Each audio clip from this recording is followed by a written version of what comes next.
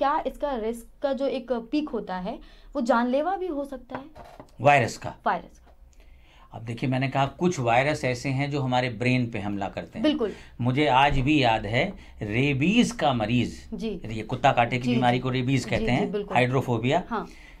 जब मैं इंटर्नशिप करता था आज से तीस साल पहले जी।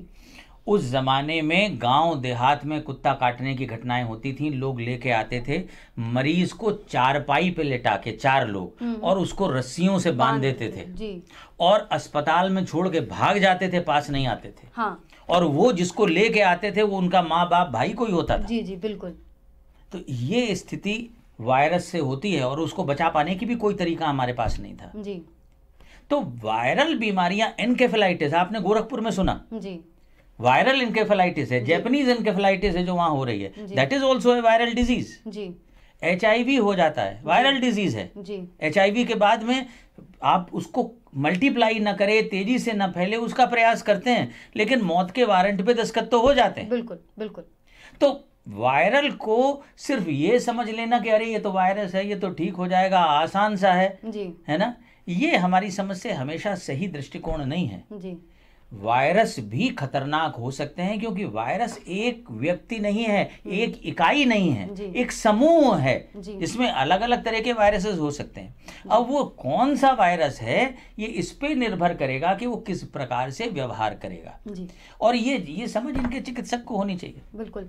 तो सर जैसा कि शुरुआत में जो आपने कहा था कि वायरल फीवर की अगर हम बात करें तो जी, फीवर जी। में जब तक आपको कोई असुविधा ना हो आप उसको झेलते रहिए। देखिए वायरस से लड़ने के लिए दवाइयाँ बहुत सीमित हैं। जी। या तो हमारे पास में फ्लू वायरस से लड़ने की दवाइयाँ हैं ओसल्टमावीर कहते हैं। एमेंटेडीन कहते हैं है ना रिलेंजा कहते हैं तो ये कुछ दवाइयाँ हैं जो इन्फ्लुएंजा वायरस से लड़ती हैं। हम्म। या हमारे पास कुछ ऐसी दवाइयाँ हैं जो दो चार वायरसेस हैं। हर्पीज सिम्प्लेक्स के लिए हर्पीज जोस्टर के लिए हमारे पास ए साइक्लोविर है। तो ये दो तीन चार बीमारियों को हटा दें तो बाकी एंटीवायरल मेडिसिन ज्ञात नहीं है। लेकिन मतलब मैं जानना ये या कम से कम कॉमर्शियली अवेलेबल नहीं है। जी। तो हम उनके साथ में सीधी लड़ाई नहीं लड़ सकते। तो लड़ाई लड़ कौन रहा है? हम्म लड़ाई शरीर लड़ रहा है। जी। तो हम शरीर के लड़ने के प्रयास को अपनी सुरक्षा करने के प्रयास को अगर मज़बूत कर सकते हैं तो करें। मल्टीविटामिन दें टॉनिक्स दें पर्याप्त रेस्ट दें उसको। हम्म हम्म, ठीक है? तो जिससे वो अपनी एनर्जियाँ इधर उधर डेसिपेट ना करे। जी। और पूरी शक्ति से लड़ाई लड़े और अपनी सुरक्षा करे। जी। होता क्या है कि नहीं साहब इसको पैरासीटामोल खिला दो हम्म हम्म। बुखार उतर जाने दो और स्कूल भेज दो। हम्म। काम करने चले जाओ। तो आपने शरीर लड़ रहा था अपनी सुरक्षा कर रहा था आपने उसकी सुरक्षा पे ही रोक लगा दी। तो अब तो वायरस को अपर हैंड आपने खुद दिया। नहीं तो सर हम कैसे पहचानेंगे कि ये जैसा कि अब आपने बताया कि अगर बुखार है तो उसको एक संकेत मानिए और अगर आपको असुविधा ना हो तो दवाई ना लीजिए। लेकिन अभी सेकेंड थॉट जो था ये था कि अगर वायरस है तो वो बहुत जल्दी आपको इफ़ेक्ट करेगा और ये जानलेवा भी हो सकता है। जी बिल्कुल। तो हम कैसे पहचानेंगे कि ये वायरल फीवर है हाँ। या एक नॉर्मल जो आम भाषा में और दूसरे बुखारों में से कोई। जी जी। देखिए वायरस आपके पास हम कोई एसएमएस भेजते हैं जी। वो तेज़ी से फैलने लगता है। जी। इनसे उनके उनके पास उनके वहाँ से आगे गया और चला गया तो आप क्या कहते वायरल हो हो वायरल हो गया। जी बिल्कुल। भाई यही वायरस का मतलब है जी। कि जो बीमारियाँ आपको लगे इस सदी के सबसे बड़े आतंकवादी जो हैं वो विषाणु हैं। जी बिल्कुल। वायरसेस हैं। एकदम सही। जो बीमारियाँ न केवल लोकल लेवल पे बल्कि बड़ी महामारी की तरह होती हैं। स्वाइन फ्लू फैल रहा है। जी। दुनिया आतंक के चपेट में है। तो स्पेनिश फ्लू में इतने लोग मर गए जितने फ़र्स्ट वर्ल्ड वॉर में नहीं मरे थे। जी जी बिल्कुल। स्वाइन फ्लू की वजह से। स्वाइन फ्लू तो बाय एंड लार्ज जो इतने बड़े पैमाने पे जान ले सकता है वो वायरसेस ही हैं। जी। कहते हैं वो चाइना से आया था। सार्स बीमारी थी। हम्म। कोई दस पंद्रह साल पहले की बात है। कोरोना वायरस की वजह से था। ऐसी ही बीमारी है। आप देखते हैं गोरखपुर में जैपनीज एनकेफेलाइटिस कितना बड़ा कांड हो गया। कारण ये कि वायरस से लड़ने के लिए सीधे उपाय आपके पास नहीं है। और आप जो शरीर के उपाय हैं उनको रोकने की कोशिश करते हैं। बुखार रोक दिया आपने और फलाना एंटीबायोटिक दे डाला कि जो मित्र जीवाणु आपकी रक्षा कर रहे थे उनको भी आपने मार दिया। जी। अपने सैनिकों पर धाए धाए धाए धाए गोली चलाते चले गए जबकि आपको पता है कि इस गोली से वायरस नहीं मरेगा। जो। आपके रक्षापंथी के सैनिक हैं वो मर जाएँगे। तो वो ये सोच जो है ये हमें कहीं विकसित करनी होगी। रेस्ट बहुत ज़रूरी है वायरल डिज़ीज़ के लिए। जी। बच्चे को लोग ज़बरदस्ती वायरल फीवर हो गया फिर भी स्कूल भेजे दे रहे हैं। अब वो एक वायरल फीवर का मरीज़ दस वायरल फीवर के मरीज़ वहाँ पैदा करके आएगा। जी।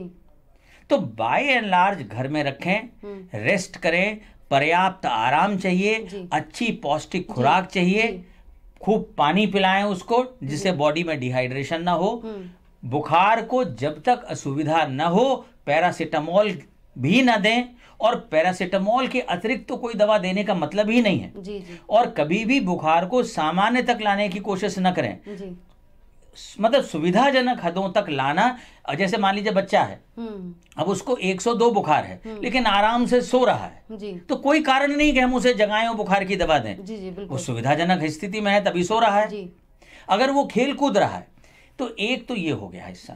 दूसरी चीज़ ये है कि वायरल बुखार जो है वो घर के तमाम सदस्यों को एक साथ होते हैं। हमने पूछा कि साहब और किसी को है? हाँ साहब अभी इसकी माँ को हुआ था पिता को हुआ था इसके भाई को भी होके चुका है। तो अब ये बुखार जो है फैल फैल रहा है ये वायरल होगा? जी।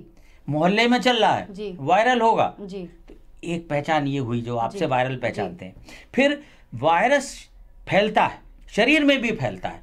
आँखें लाल हो गई। जी। तो आँख इन्वॉल्व हो गई। हम्म, नाक बह रही है तो नाक इन्वॉल्व हो गई। मुँह के अंदर छाले निकल आए मुँह इन्वॉल्व हो गया। गले में दर्द है निकलने में परेशानी है खांसी शुरू हो गई छाती इन्वॉल्व हो गई। खाल में दाने निकल आए जैसे मीजल्स में चिकन पॉक्स में और आजकल तो एक नई बीमारी चल गई है। जो। मैंने 10 साल तक एक भी केस नहीं देखा और इधर एक महीने के अंदर कम से कम सौ डेढ़ सौ मरीज़ देख डाले उसके। इसे कहते हैं hand foot and mouth disease जो तेज़ी से फैल रही है यहाँ भी फैल रही है लखनऊ में भी फैल रही है। इसमें क्या होता है मुँह के अंदर छाले हो जाते हैं बच्चा निगल नहीं पाता है हाथों में छाले निकल आते हैं जी जी। दाने वही। पैरों में निकल आते हैं और नितंबों पे निकल आते हैं पीछे। ये बच्चा जो है ये खुजली नहीं होती लेकिन दर्द होता है। जी। तो मुँह में हाथ पैर में पहले जानवरों में होती थी जिसे हम खुरपका कहते थे। जी। तो ये दोनों भी उसके आगे के पैर हैं जानवर के उसके खुर हो गए। नीचे वाले पैर भी उसके हो गए नितंब हो गए और मुँह के अंदर। ये खुरपका मनुष्यों में होने लगा है और इधर एकदम से तेज़ी से शहर में फैल रहा है। जी। और यही नहीं अगल बगल के शहरों में भी लोग प्रसारित कर रहे हैं। अभी एक आज एक मरीज़ आए बोले कि साहब हमारे घर में हमारी वो इनकी बुआ आई थी उनके तीन बच्चे आए उनसे इनसे प्रसाद ले गए वो भी। हम्म हम्म। तो अब वो अपने शहरों में जाएँगे और फैलाएँगे। फैलाएँगे, तो। यूँ ही ये तेज़ी से बीमारी फैल रही है और इसके अंदर ये एक खास किस्म का वायरस है जिसका नाम है कॉक्सिकी। जी। ये एक एंटेरो वायरस है। एंटेरो वायरस में तीन परिवार हैं पोलियो वायरस एंटेरो का हिस्सा है कॉक्सिकी एंटेरो का हिस्सा है और एक इको वायरस है वो इस एंटेरो वायरस का हिस्सा है।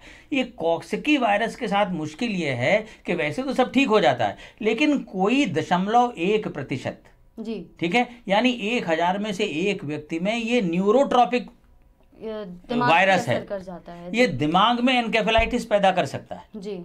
तो अब ये वायरस जो है ये छूत से फैल रहे हैं छूने से फैल रहे हैं। तो ये परिवार के सदस्यों में हो मल्टीपल मेम्ब्रेन्स को इन्वॉल्व करे। मज़ेदार बात यह है कि वायरल बुखार में पैरासीटामोल दो तो बच्चा बिल्कुल ठीक हो जाता है। बुखार उतर गया। जब बुखार उतर जाएगा तो वो प्लेफुल है एक्टिव है इंटरेक्टिव है है ना?